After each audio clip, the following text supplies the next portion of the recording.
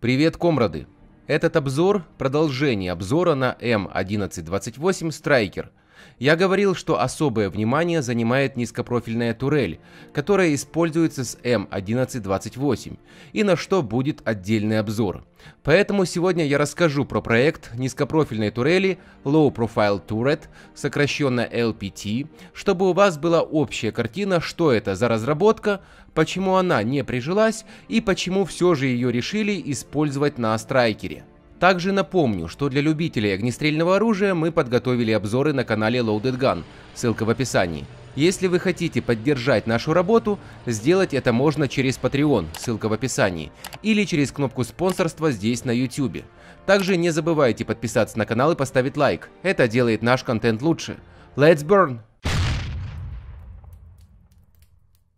В 2007 году США приняли на вооружение бронированную боевую машину, которая также называется мобильная артиллерийская система М1128 Страйкер.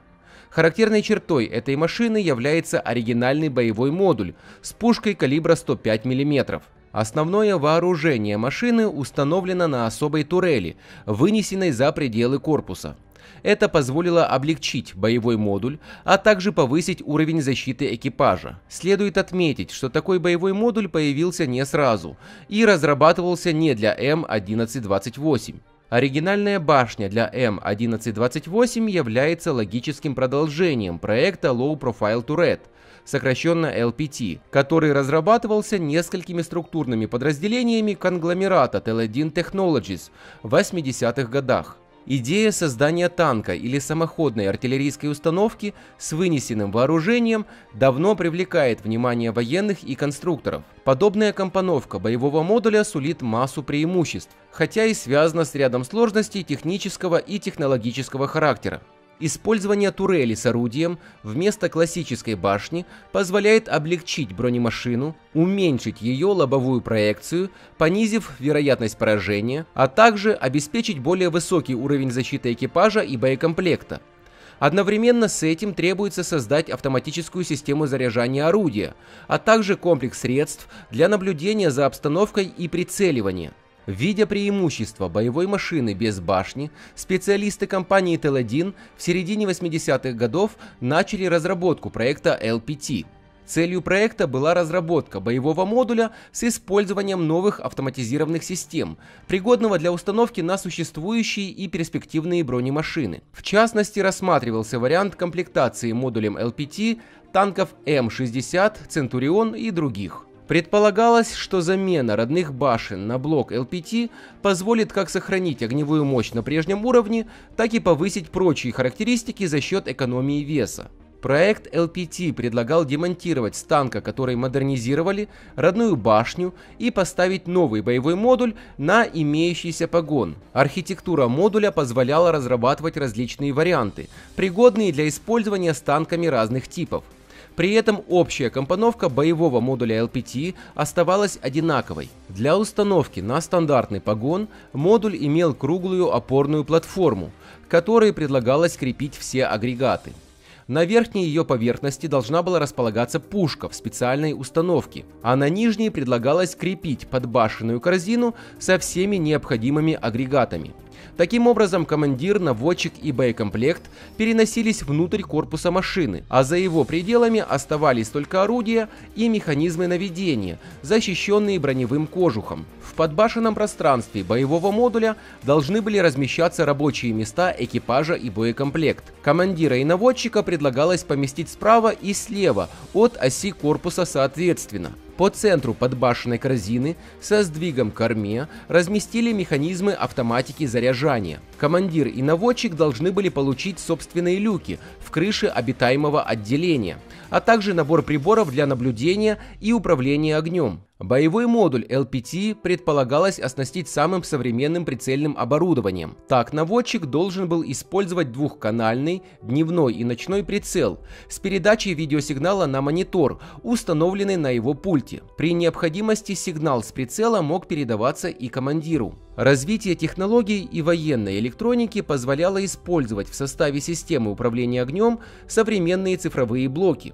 Для наблюдения за обстановкой командиру полагался перископический прибор, установленный на его люке. Несмотря на использование вынесенной турели с орудием, командирский перископ по расчетам обеспечивал обзор сектора шириной 330 градусов. Перекрывалась лишь небольшая зона слева сзади, где находились крепления орудия. Проект Low Profile Turret разрабатывался с целью переоснащения устаревающих танков, что сказалось на составе вооружения боевого модуля. В качестве главного калибра была выбрана нарезная пушка М68А1 калибра 105 мм.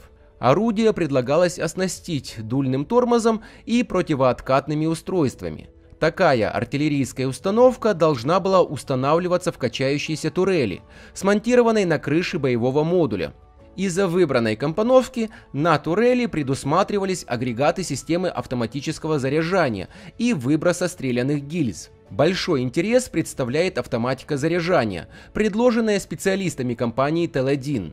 Весь боекомплект предлагалось помещать внутри бронекорпуса. Снаряды должны были покидать его пределы только при подготовке к выстрелу.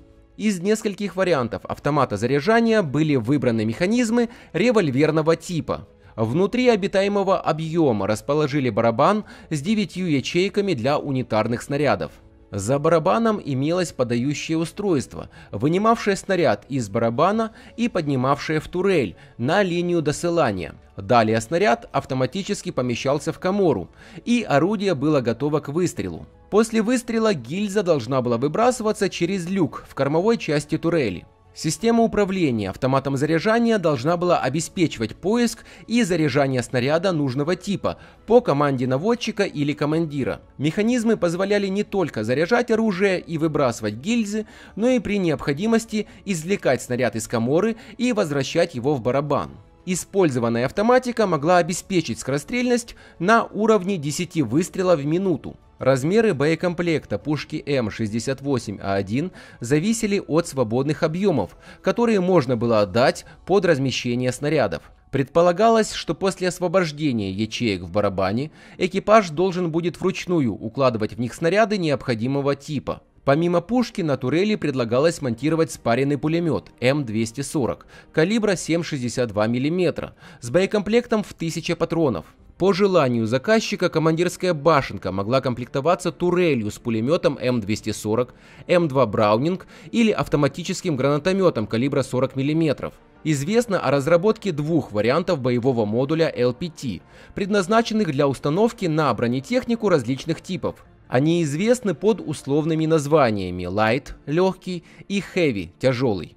Основные отличия этих модификаций заключались в габаритах, массе и некоторых других параметрах. Состав вооружения, оборудования и экипажа были одинаковыми.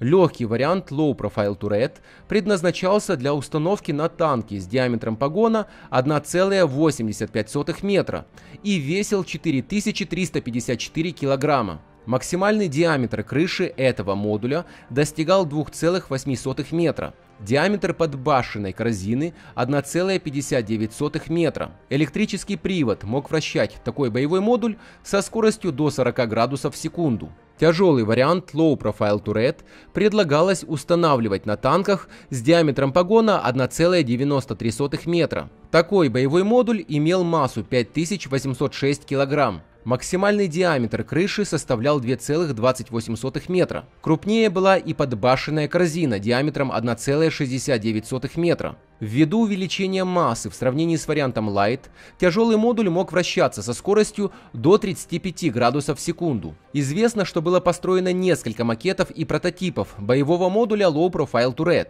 Эти модули использовались в различных испытаниях на базе шасси нескольких типов, но, несмотря на все усилия, предлагаемый боевой модуль не заинтересовал потенциальных заказчиков.